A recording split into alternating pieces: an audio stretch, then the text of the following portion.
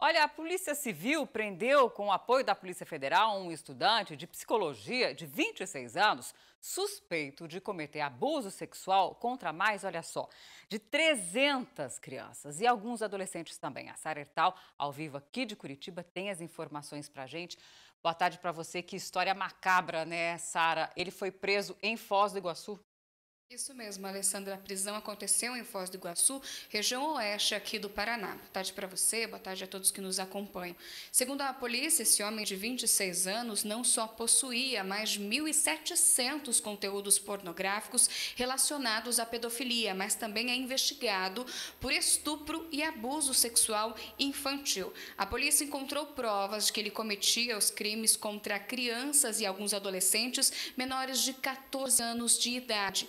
O suspeito usava a internet. Por meio de jogos online, ele aliciava as suas vítimas. Né? Ele prometia dinheiro, prêmios, em troca de fotos, vídeos e até videochamadas com as vítimas. Todo esse conteúdo, esse material, era compartilhado na internet depois. O caso chegou às autoridades por meio de denúncias, né, que vieram, olha só, até de fora do país.